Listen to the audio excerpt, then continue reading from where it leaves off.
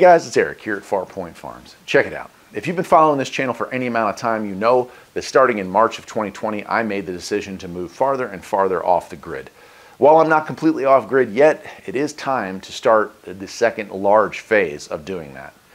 I'll leave a link to the entire series below, but I started by building a 1200 watt solar array. Here's a picture of it here. Using these 100 watt solar panels, a charge controller similar to this one, and an inverter similar to the one you see on the ground. There was a learning curve, right? I was able to figure out what angle to put my panels and what direction to face my panels, but I didn't know everything that I probably should have known to get started. And as a result, I put some money into it that I probably could have put in better places. Namely, these panels. These 100 watt panels are great for campers, RVs, and small off grid installations. But if you're planning on taking your entire home off the grid, you're probably going to want to get larger panels. This is a Calpha 200 watt solar panel, and this is going to be the cornerstone of my new solar array. I picked up five of these panels. I plan on getting another five here before spring hits. And we're going to build a much larger 2,000 watt array to supplement the 1200 watts we already have. 3200 watts in total between the two systems and hopefully we'll be rolling in style.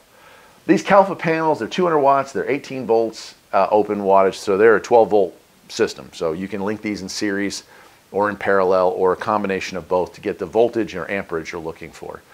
Now this system here with these is going to be installed right above me, right on this garage here. It's a, it's not a perfect angle, but it almost faces perfectly out to where I want my panels to face, which is that way. so I'm really lucky that the house is positioned in the right angle for that. We're going to install this.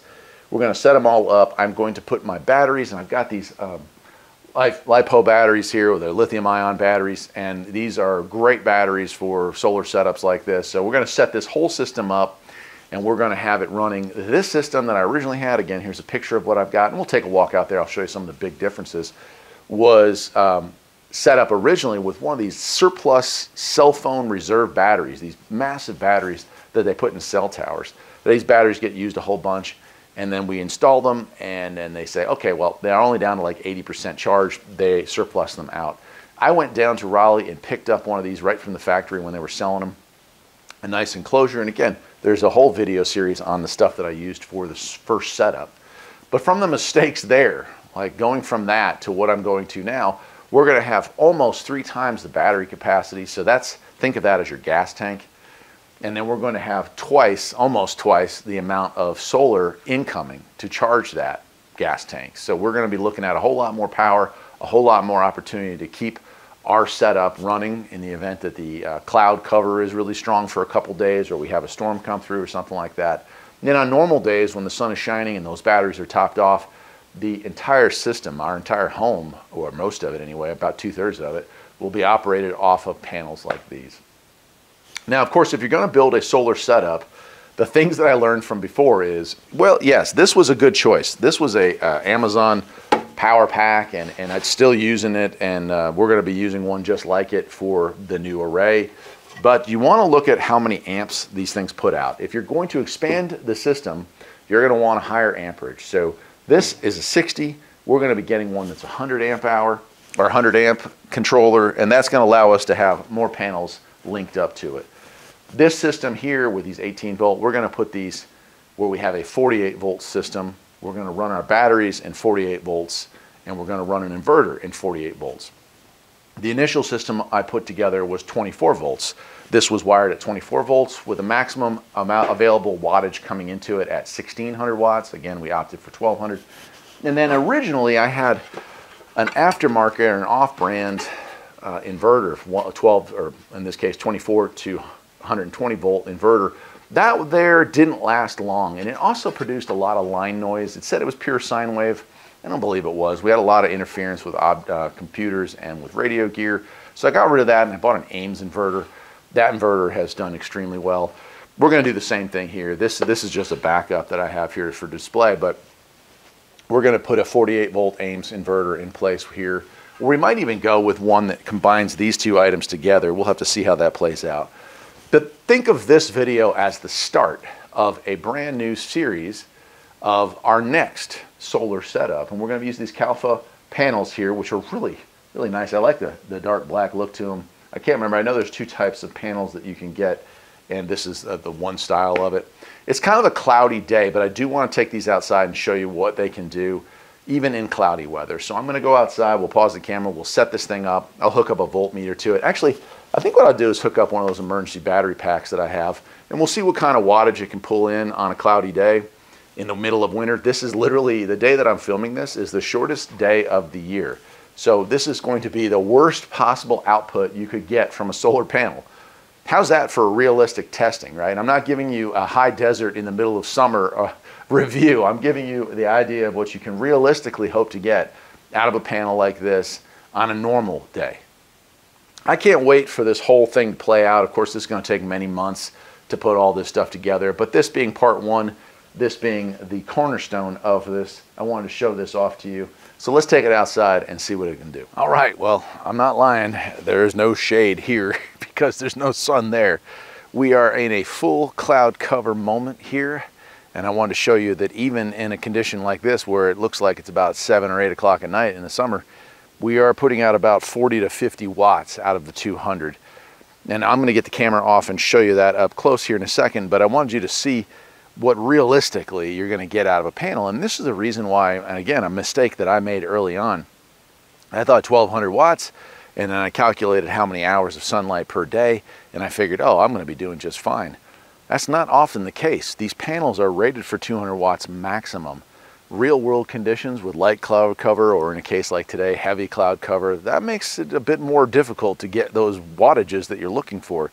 So you really want to double the amount of wattage you think you need. And that's why I decided to go with this. This is a great looking panel and it comes with a good warranty as well. So we're gonna go ahead, I'll get the camera off, I'll show you up close, I'll show you the cloud cover, and then hopefully we'll get a spot where the sun comes through and I can give you the full, again, this is the worst day of the year, the, the shortest day of the year, the sun is the lowest in the horizon it's going to be. This rating is going to give you the worst possible output and then you can pretty much guess if it can do that, what it can do on a nice sunny summer day. Let's check it out. Okay, well here's the panel and as you can see, I mean there's some reflection I guess, a little bit of light coming through here, but I wasn't kidding.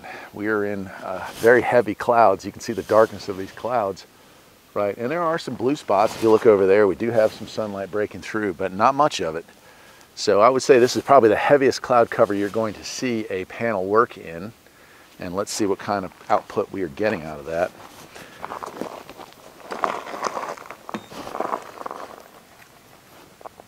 Okay, so even in its absolute worst performance, it's getting 38 watts. Worst day, worst kind of conditions for input, and we're still getting, oh, you know, let's see, what, what we got? One eighth of its rated power, 40 watts, or one quarter, I guess a little less than a quarter, one fifth of its rated power. So that is the uh, worst case scenario. So now we play a little bit of a waiting game here, and we're gonna wait and see if we can get full sunlight here, and we'll see what we can get with full sunlight. All right, here we are in the sunlight. And as you can see, it's actually outperforming what it should be. 217 watts coming in on the worst day of the year. 213 watts. So we're looking over maximum output. And that's that's awesome. So hold on, let me back up. We're not even really in full sunlight. I'm going to point that out here in a second here. As you can see my, my shade here. I had to move the panel. The sun moved before the sun came back. But there we are. We are still in partial clouds, as you can see, and the sun is partially hidden by the trees. We live in a hill, and the sun never clears the hills in the wintertime. It goes through those trees. So not a very not a very perfect way of doing this, but okay, still with partial cloud cover, 160 watts, so not bad at all. You can see it kind of moving around as the clouds come and go we can just get a moment or two of total sunlight. Yeah, we're getting close to the maximum. Yeah, not bad. So you can see the panels almost in sunlight. It's still pretty uh, pretty dim here. We got cloud cover, pretty heavy. But 185 watts there in, in partial cloud cover. Certainly not bad. And just so you don't think that there's any voodoo going on here, come around here and you can see it's hooked directly to this. And I'll bring you up here and show you. Here's our tag information. 200 watt solar panel. And it's the SPR-200 is the model. Rated for 200 watts, but we've already seen it go past that. That's pretty cool. And it gives you dimensions and stuff. If you need all that information, I'll leave it up there for another second. But yeah, pretty cool little setup. Pretty cool little setup. You can see still not in complete sunlight, but producing almost its rated value and occasionally when the clouds break above its rated value. So hard to complain. Calpha, 200 watt. And there goes the sun again. It just disappeared. Hopefully you'll choose to follow me along with this next phase, building a new solar array here at Farpoint Farms. Till next time, my friends, take care.